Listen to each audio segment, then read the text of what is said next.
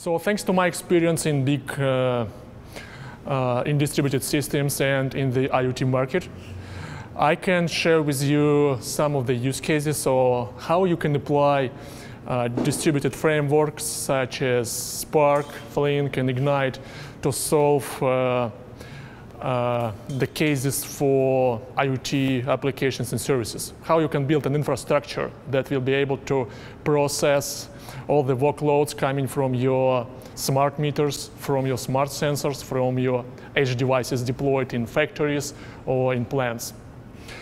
And the agenda for today is pretty simple. So first, before we start diving into the uh, into the kind of into the way how a problem can be solved, let's take a look what are the demands uh, that are coming from IoT empowered applications and services. After that, uh, when we know these demands, I would introduce a high-level software stack that you as an architect should keep in mind. It's not the detailed one. It's not will be a breakdown, but it's something that uh, some the main building blocks you will have in your uh, IoT solution or project.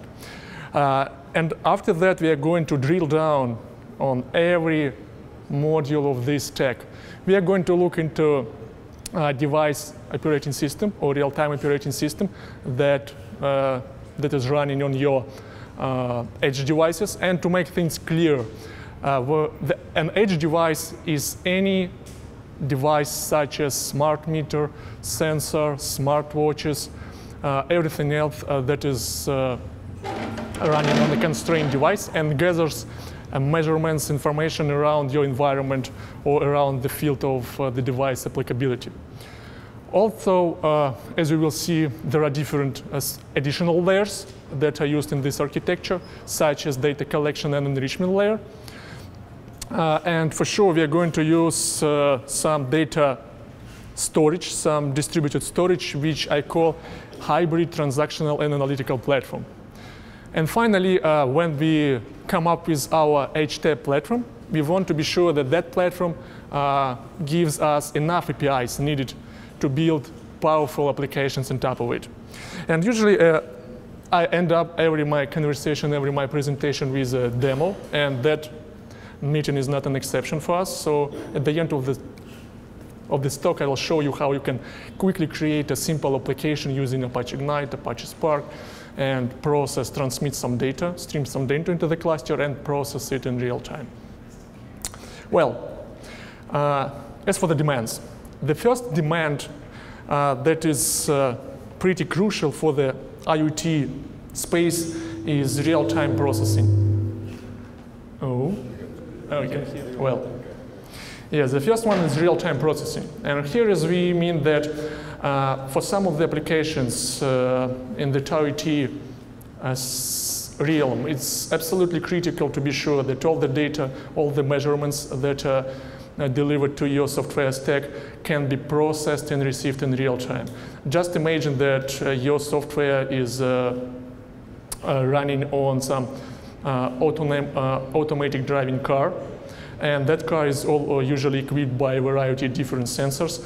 And it's uh, totally, it's, uh, it's a critical requirement to be sure that every measurement, every information that is coming delivered by your sensors is processed in real time. If you cannot meet uh, this requirement, you can get into a car accident. And for sure, we want to avoid this. The next requirement is, uh, uh, is how your platform is brought in terms of APIs. Uh, IoT developers, if we, talk, if we are talking about the backend developers or high-end developers, the guys who are writing uh, backend software for your IoT solution, they also want to use uh, common APIs like uh, SQL, uh, like key value operations. And what's else specific for IoT is uh, if you're if you, if you invented some project that uh, transmits uh, your location, your proximity, then also you want to store the data in so-called geospatial format, and it will be not even, it will be beneficial if your platform supports geospatial data and APIs out of the box. Uh, the next thing is uh, analytics. So for some of the products it's, it might not be requirement, but for the rest, when you want to understand what's happening to your system or what, what's happened to your uh, smart meters deployed in some factory a day ago or a week ago, you want to execute some analytical workloads. And most likely you will be executing nowadays, you will be executing them in parallel to the operational workloads, in parallel to the new information that is arriving to your uh, software stack. And considering this, uh, nowadays uh, high availability becomes uh, became not just a nice feature to have, but a sort of a requirement. Uh, a lot of their projects, they want to be sure that whatever happens to my system, whatever happens to my architecture, I want to be up and running uh, unless you know the whole data center goes down. But even if the whole data center goes down, there is a solution, right? You can have several data centers that work in parallel. And that's all about high availability. And finally, high close to the high availability requirement, we have simple scalability uh, uh, requirement. That implies uh, that first, we want to invest in such a solution uh, that allows us to scale out gradually. So probably at some point in time, we are going to start with uh, hundreds of meters, smart meters deployed somewhere, but all the time we want to scale out. We want to deploy uh, thousands and dozens of thousand meters. And our software architecture has to react accordingly. It, it should be simple. It has to be simple to uh, scale out your existing software. And based on these demands, actually, we can uh, take a look at this from this IoT software stack perspective. Uh, starting from the bottom. First, uh, if you're going to create your new IoT solution, like first you need to deploy some edge devices like smart meters somewhere. And those smart meters, they also uh, have to be programmed. Ha you have to develop applications from them, software. And usually there are spe special type of operating systems and APIs that are developed for this sort of devices. Uh, if your device is powerful enough uh, and you can run Linux operating system, embedded Linux on it, then you're good to go. You can install Linux and you can use POSIX APIs provided by that operating system. But usually, uh, all these edge devices, uh, they are running on constrained hardware. And under the constrained hardware, I mean uh, uh the uh, chipsets that have around, let's say, that have uh, dozen kilobytes of RAM and a couple of megabytes of flash. This is all they have. But that space, uh, that amount of memory is, is enough you know, to install in a, a real-time operating system on it and to develop applications that will uh, gather different metrics surrounding uh, the smart meters and transmit all this information back to your uh, distributed storage and back to your software stack. On top of this, uh, the next layer, which is called data collection enrichment, usually this layer interacts with your smart devices. Uh, in this layer, you're going to uh, connect to your smart devices, pull information from there, or the smart devices will push the information to this layer. You can enrich this data, meaning that you can take the raw data and transform it, adding something useful, adding some payload that is needed for your uh, application. And right after that, right after you update it, right after you receive the data, you want to store it somewhere. And for big deployments or for the deployments uh, that are supposed to scale out over the time, we want to store this data in a distributed uh, platform, in a distributed database. And we, want, we don't want uh, this distributed storage or database to be only you know, SQL based. I want to interact with this storage using another APIs uh, that are needed for my application. And this is why we are looking here into the so-called HTAP platforms or new SQL solutions. And that platform will be capable of storing the data in a distributed fashion and will provide you a variety of APIs that, your uh, that your application can benefit from. And today I'm representing uh, Apache Ignite Software Foundation, and we are going to discuss uh, the uh, software uh, that perfectly well fits to every layer depicted on this diagram, and all this software belongs to Apache. Uh, the bottommost layer here is we will be, I will briefly introduce you to Apache Mynewt. It's a real-time operating system uh, that is, this is actually the first and the only one at the moment real-time operating system that is available under Apache 2.0 license. As for the next layer, data collection and enrichment, here is we have uh, much more options. Uh, for the data, you know, for the initial data processing and receiving and uh, transformation, we can use Spark, we can use Kafka, we can use Flink. And today we are going to uh, briefly look at Kafka. We are going to, sorry, to look at Spark and Flink. And I will show you during the demo how you can uh, wire up together Ignite and Spark. And Ignite is uh, going to be used as our distributed uh, computational uh, platform and our distributed storage. On top of, once you use Ignite uh, for this purpose, uh, your application will be empowered by a variety of different APIs. And today I'm going to show you some of the APIs uh, that are useful for the IoT use case. We're not going to explore the whole platform uh, because it would take a lot of time. I just want you to learn something that is specific for the IoT applications. Okay, now let's take a look at every building block from here in more details.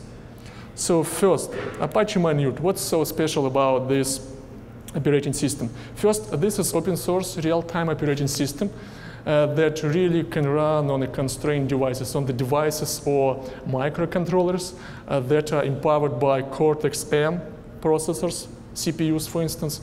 And if you to give some, you know, basic understanding on this, a microcontroller usually a small chip uh, that has a CPU, RAM, flash, and sometimes networking components embedded. And you usually take this chip, this small chip, and uh, build your smartwatches, your smart meters using that hardware. And once you construct it, once you assembled your hardware, you can flash Apache Mynewt there and use the rest of the APIs it supports. For instance, you can write standard uh, networking applications. You can communicate to your uh, backend system uh, using Wi-Fi, Bluetooth, and uh, networking protocol, and utilize TCP/IP or UDP. At the same time, uh, uh, when you need to update your software, first you Apache Mynewt, as many other real-time operating systems, they guarantee uh, that the data that is going to be flashed, the software that is going to be flashed the, into the hardware, that will be secured. So you can define some security policies to double check that nobody else, rather than you, can update the software on your hardware. And speaking about the updates, uh, uh, uh modern real-time operating systems they do not, you know, force you to come to your factory or to the plant where your smart meters are deployed, or Apple doesn't require you, you know, to deliver all its smartwatches back to the office if they want to update the hardware, software. All this stuff can be done remotely. And you as an, as an IoT architect or IoT developer, you also, once you install Apache Mynewt, you can update Apache Mynewt version and the version of your software remotely from your office. Uh, the next layer, data collection and enrichment layer. That's layer, so as I said, it interacts, directly interacts with your uh, edge devices. So usually you can connect to your edge devices using different networking protocols like Wi-Fi, Bluetooth, depending on the scenario. And once you connect to your devices, you can utilize uh, Spark streaming functionality or Flink streaming functionality to receive initial data from there. Uh, you can, as you know, you can, you can scale out your Spark cluster, for instance, depending on the workload coming from your uh, smart meters. And later on, once you receive this data, you can process this data in, in parallel, uh, enrich this data with additional information. And right after that, when the initial pre-processing, pre-processing of the data is done, you can move it on to your final storage, to your distributed system, uh, where the data will be spread out across a cluster of machines.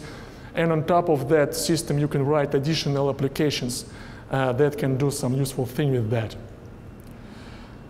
Okay, and if to talk about that uh, platform, about Ignite as our HTAP platform, as our distributed storage and computational database. So actually, Apache Ignite is a memory computing platform uh, that is durable, always available, uh, and provides powerful SQL, key value, and other processing APIs. So at the core of this system uh, lies so-called memory-centric storage. The memory-centric storage implies that the RAM, main memory, is treated not as a caching layer.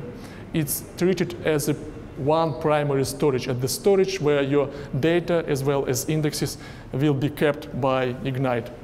At the same time, the memory-centric means that uh, you can still use disk as your uh, secondary memory tier, just for the sake of the durability. If you want to be sure that if some bad happens to a cluster, imagine that your whole data center goes down and you just, you for sure don't want to lose the data. But if you enable this persistence, if you enable Ignite native persistence for sure, then you can be sure that after the cluster restart, you will not uh, miss a piece of your data. All the data will be persisted on disk and you can start working with your data right away. So Ignite native persistence uh, is tightly integrated with the overall memory architecture. And usually it stores the superset of data on disk. And you can have as much data in RAM as you can afford. So, and at the same time, you can perceive the data on third-party databases or storages like NoSQL uh, databases like MongoDB, Cassandra, or relational databases. It's up to you. But there are some of the differences between Ignite native persistence and third-party persistence. So if you, uh, if, you, if, you have, if you are interested in this, then I'll be uh, happy to elaborate more on this at the end of our talk. But okay, and all this storage is distributed, right? So all this memory is available across the cluster of machines you have. And once you have your, all the data and indexes in RAM, you can leverage from the variety of APIs provided by Ignite, like SQL, key value, uh, MapReduce framework, uh, which, is, which we call compute grid machine learning and other capabilities. If to, uh, if to look into this distributed storage, in reality, this distributed storage is a key value database. So the same hash table, so we all know how to work with hash tables, right? So every hash table consists of several buckets. And here is we are dealing with the same hash table with the only difference that every bucket is, uh, belongs to a specific cluster node, specific cluster machine of Ignite. And we call, uh, in Ignite, we call these buckets as partitions. Some other products call uh, these kind of buckets as shards, when people use sharding technology to uh, spread out the data. Uh, and for sure, uh, once you spread out this data evenly across the cluster of machines, you automatically get, uh, you can automatically load balance the workloads. So every API call that comes to your application, depending on the data locality, uh, that API call can go to one cluster node or to another. And this is how you can scale out your overall uh, data storage, and this is how you can so-called scale out your workloads by just adding new nodes to your cluster whenever it's needed. Uh, the next, so speaking about the APIs, so the, since that's the key value storage, probably the fastest uh, way possible to interact with the key value based storage is to use key value operations. So if you know an ID of your, uh, let's say an ID of your smart meter, and you just want to get information about this smart meter, for instance, where it's deployed, uh, in which geographical location, uh, then you just can take this ID of the smart meter and send a query to your cluster. And then we can take this ID and we can identify precisely uh, where this information is located. Because for every ID, we can calculate a primary node that stores the data for this uh, type of record. And if you execute millions or uh, hundreds of thousands of such queries in real time, you can see that all these queries will be sent to different nodes. And this is how you can distribute your workloads by using simple key-value operations. Uh, the other API that is useful for IoT applications is SQL. It's required when you want to execute some advanced queries, like you want to see what was the highest temperature reported by your smart meters, or uh, uh, where uh, what was uh, how many smart meters failed uh, throughout the previous week. All this information is easy, easy to retrieve using SQL language, right? So, and if you don't want to invent your own language, uh, Ignite offers you full-fledged SQL APIs on top of it. And even more so, quite often Ignite is used as just full-fledged SQL database.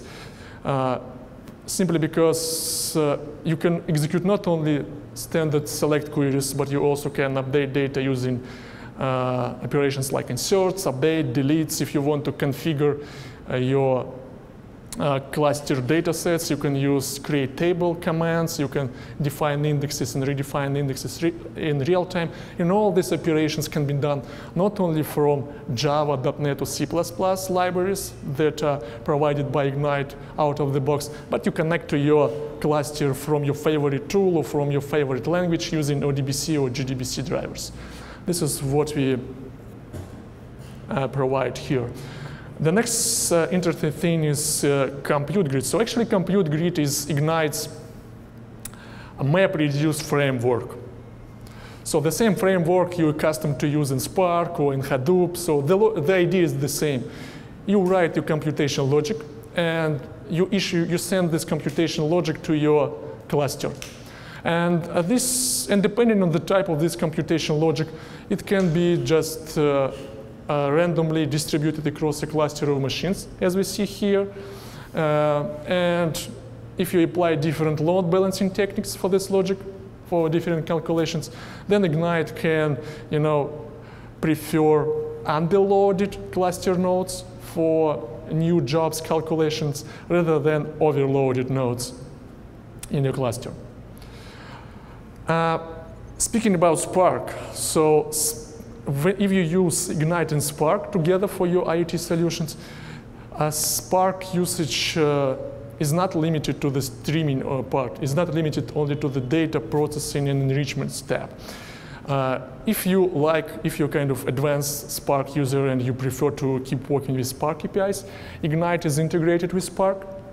So you, actually what you can do, you can connect from your Spark applications to your underlying Ignite cluster and work, uh, work with the data stored in Ignite using Spark RDD APIs, for instance. So I will show you today how we can connect to the uh, to Ignite cluster from Spark, uh, get access to our uh, data sets stored in Ignite cluster from Spark shared RDDs, and how we can, you know, work with this data using that already known Spark API. Yeah. Say? What is the Ignite database? Is Ignite on Amazon Web Services? Ignite, uh, uh, so Ignite can be deployed on premise or in any cloud environment. It doesn't matter. So you can go, you can go and deploy Ignite on AWS, Microsoft Azure, or Google Compute Engine, or you can, or as I show you, you today, you can deploy your Ignite cluster on your local laptop. It's up to you.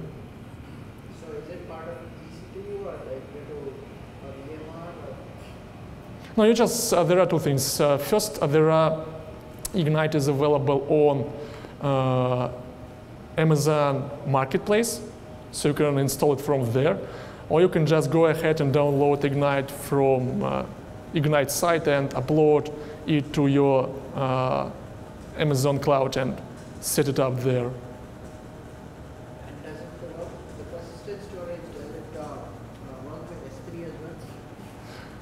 There is no, uh, so the question is, uh, does Ignite support S3 storage? So there is no any uh, support out of the box. But if you want to use S3 as your persistence layer, there is a straightforward, you know, like five methods API that you need to implement. That's it, if you want to use S3 as your storage. But most likely you don't need to use S3. You can use Uh, for instance, if you use Apache Ignite persistence and you need to do some backups, backups copy of your data, then S3 is a good, like, is a good place to store your backups, something like that. But there are a lot of options, options how you can use Ignite and deploy it on AWS. Uh, good? Disappeared. Yeah, just And finally, for the scenarios when your IoT solution, when your IoT applications need to do some more than just advanced uh, lookups using SQL, or it's even not enough for you to uh, utilize our MapReduce framework, uh, then you can uh, uh, take a look at the machine learning grid. So uh, it's a set of machine learning APIs that are being developed on top of Ignite. And actually, there is a reason why we decided to initiate this development. Uh, because we talked a lot to our customers and users, and they shared the idea, you know, guys, we already used your compute grid, your MapReduce framework, and we use your uh, uh, distributed storage capabilities and built build our own machine learning applications on top of it. Why don't you go ahead and you know implement your own? Why don't you simplify? Why, why don't you facilitate uh, this part from your side and develop these APIs uh, on Apache Ignite side? And now we we have some uh, machine learning enthusiasts in our Apache Ignite community uh, that already developed a distributed core algebra framework on top of Apache Ignite distributed storage. And they are working on a variety of different uh, essential uh, machine learning algorithms such as k-means clustering, linear and logistic regressions, uh, decision trees, and so on and so forth. So this is something that is new. That component is available in beta. And here is, I'm just mentioning it because if there is someone of you, because machine learning is still required and used in IoT, and if there is someone of you who is uh, passionate about machine learning. If someone of you wants to implement some distributed version of a well-known algorithm, just stop by Apache Ignite community. We will welcome you uh, and we will help you to make you successful and you will be able to contribute to this library, making something new, useful and building your skills in this direction. Well, that was I think that that is enough about APIs, about capabilities. So all these capabilities, I just picked only those capabilities that are related to IoT, uh, for IoT scenarios. And speaking about, and, and if we, it's obvious why we uh, should use Spark or Flink, right, for these sort of scenarios. But why should we rely on Apache Ignite? So speaking about Apache Ignite, so it has uh, a lot of usage use cases. Uh, most of them fall into the financial services market because of the guarantees, strong consistency and transactional guarantees that are provided by this platform. But at the same time, uh, there are, uh, in mind, so some of the companies such as Silver Spring Networks, ThingWorx, that already use Apache Ignite exactly for the IoT scenarios, using Apache Ignite as a distributed storage and computational platform. For instance, if to quickly look at this use case uh, uh, that was uh, shared by Silver Spring Network with Apache Ignite community, what they did, they are using GridGain cluster. GridGain is an enterprise. So GridGain uses Apache Ignite, builds on top of Apache Ignite, and provides enterprise-level features on top of the open source functionality that is available for everyone if you download Apache Ignite. So if you uh, if to think of GridGain, it's the same Apache Ignite with extra features on top. And Silver Spring Networks uses GridGain in production because of the additional enterprise features required. Uh, and what they did, there is a special platform uh, developed in-house, and that platform helps to track information about uh, many uh, electricity pillars deployed nationwide.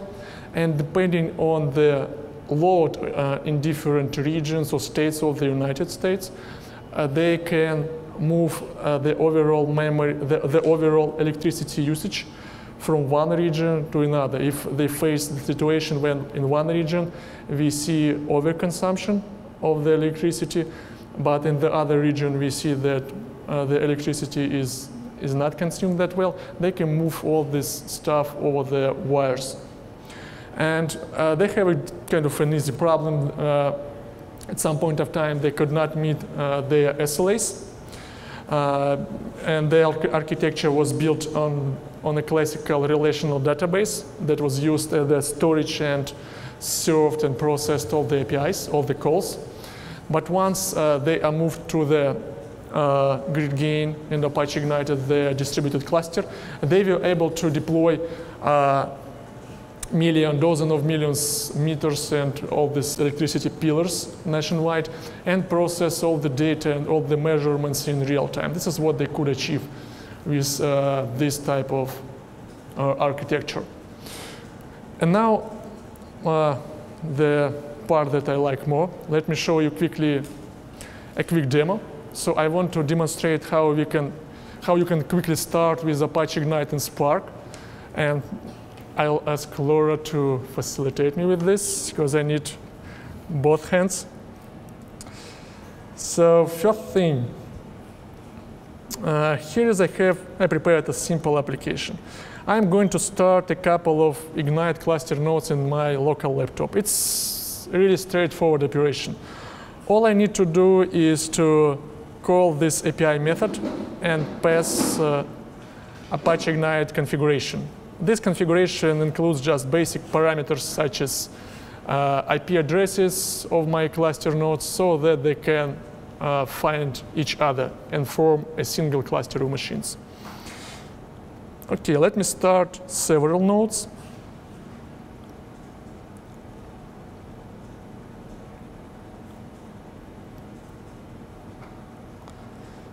Well, we have the first node up and running. We can see that presently there is only one node, cluster node in uh, our in my local cluster. And here is we are waiting for the second one to join this party. Okay, and now we have two cluster nodes. I have two Apache Ignite nodes on my local laptop running. And the next thing would be the following. Let me just first you how you can monitor the state of your cluster. For that purpose, Apache Ignite community developed a special uh, management and monitoring tool. Uh, it's called Apache Ignite Web Console. Uh, this one is named GridGain because you can take this Apache Ignite Web Console and deploy on your own hardware and you can change you know, the logos, uh, all the parts you need. So this console is deployed on GridGain side. You can also use it for your testing purposes or even in production if you're ready to do this. I'm going to use, this, use it for the sake of the demo. So here is, let me double check that my, I can connect to my local cluster from this console. Yes, so I see my two cluster nodes that are running on my laptop. Uh, there are I'm not going to use the persistence, all the data will be in memory, I don't care. And also once I started my cluster nodes, I created two uh, caches. So in terms of Ignite, we use the term cache. It's not just a cache of data in memory, it's just, it's the same as a table in the relational databases world. But in the distributed world, in the world of Apache Ignite, a cache is your unique table, distributed table, where you store your data. And we are going to have two caches. First one will store information about different sensors deployed somewhere and the temperature reported by these sensors. Okay, now it's time, you know, to start uh, doing something useful with that. Uh, and let me show you how you can work, work with your cluster from Spark as a Spark uh, application developer. So here is my simple Spark application. What I'm doing, I'm starting, I'm preparing Spark configuration, I'm uh, creating uh, streaming context. I'm going to use a Spark streaming framework. And uh, after that, I need to do some basic configuration of parameters needed for Spark to talk to Ignite. And here, as you can see, uh, two, uh, those two caches that are already configured in our cluster. And I'm going to connect to those caches by means of Spark shared, by Spark RDD APIs. This is what I'm doing in these two lines. And finally, the next, we are going to do two things. The first thing is we are going to preload our sensors cache with some dummy data. Uh, for instance, what I'm going to do, I'm going to create several sensors and you know, install or deploy them in various geographical locations, randomly picking uh, latitude and uh, longitude. Once I've filled, filled in this information, I'm going to save this data into the Apache Ignite by calling this save pairs method. That's the standard method available for you uh, on RDD APIs. Once this is done, uh, I'm going to receive uh, some sample temperature measurements from uh, this localhost port number. I'm going to process these measurements. Uh, that will be measurements of the temperature uh, reported by one of the sensors created before. And once I do all these transformations, such as I, I want to add a timestamp to every measurement, I will, I'm going to save all this data, transmit all this data constantly, constantly to my Apache Ignite cluster in real time.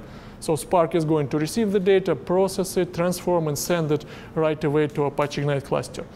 And once and while this data is going to be uh, processed and sent to Apache Ignite in real time, I want to execute some, I, know, I just want to see what's going on. I want to execute, for instance, select queries over the data that is being streamed into my Apache Ignite cluster.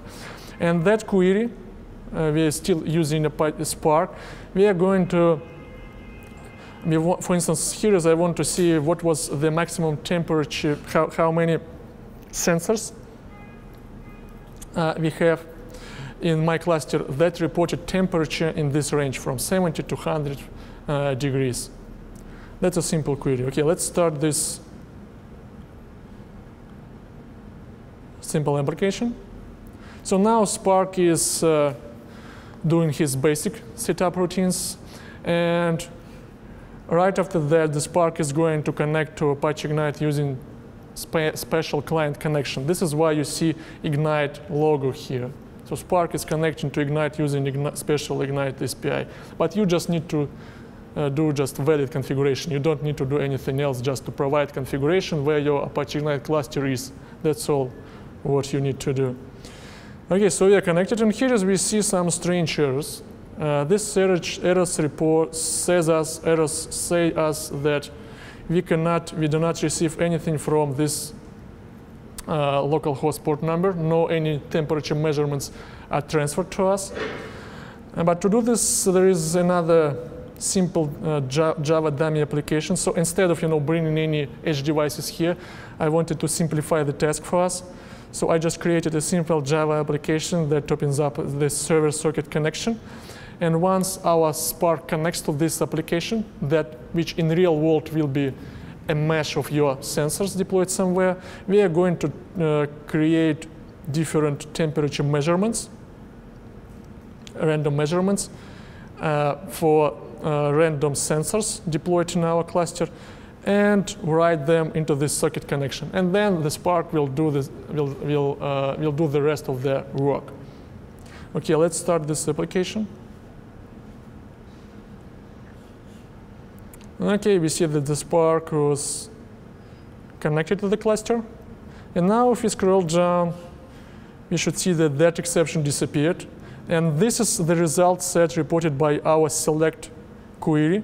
So the data is being received and processed in real time, processed by Spark, sent to my local Apache Ignite cluster, and this query is executed over the data that is on Apache Ignite.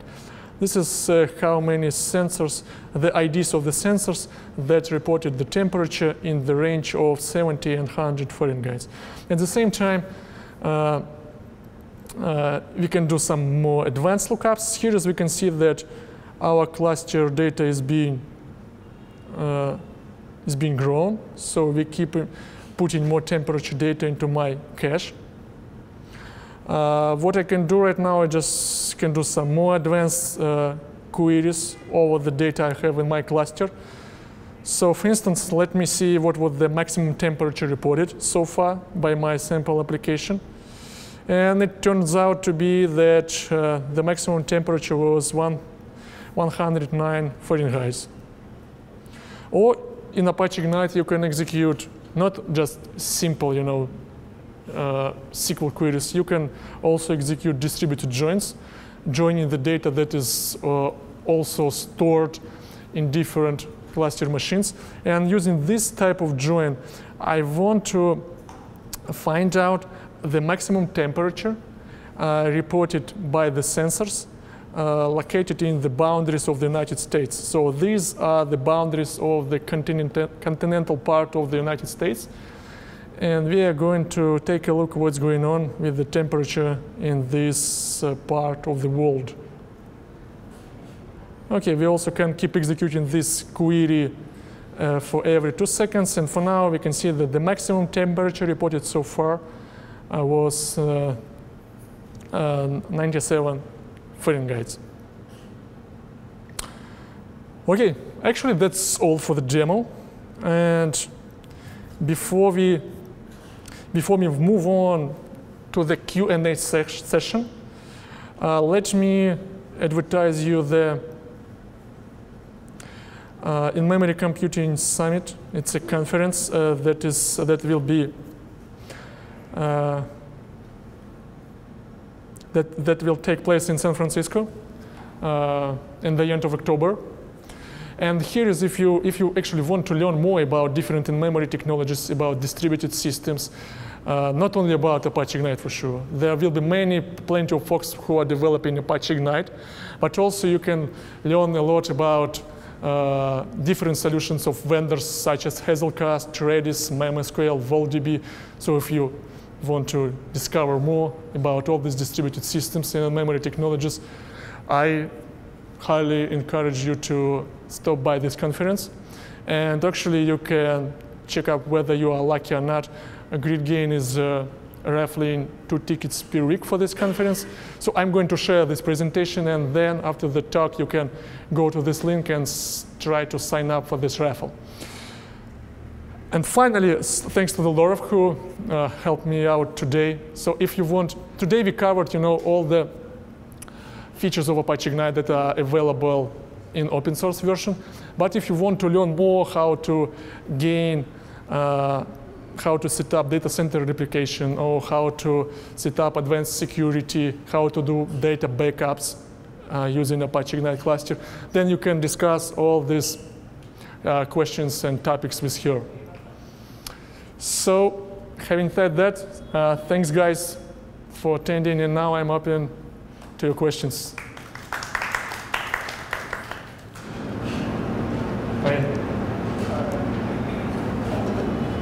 Thank you. Um, in the demo, um, you created the RDD from the Ignite, and then you call one of the functions to save.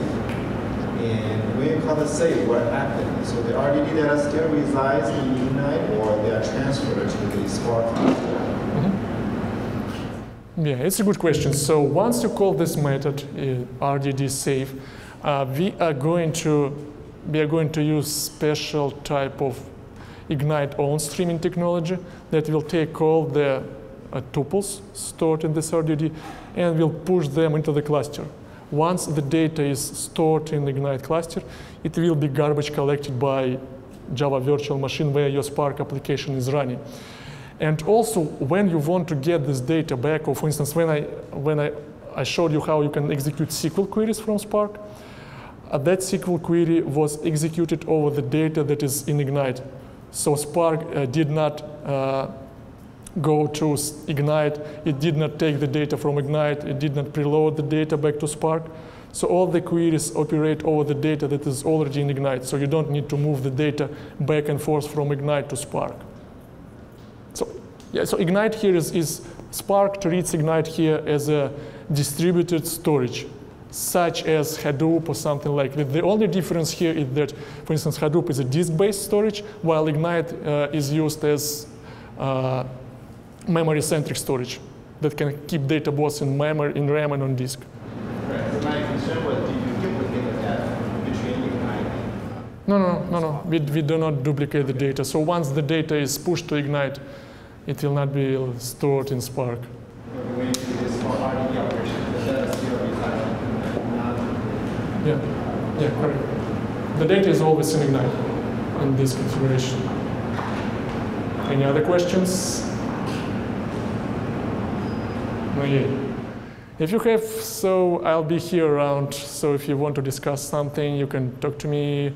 I can give you more details on uh, all the components we briefly discovered so far, or you can share more details on use cases related to the IoT or different other markets. Or you also can talk to my colleague to learn more about GridGain use cases. Thank you, guys.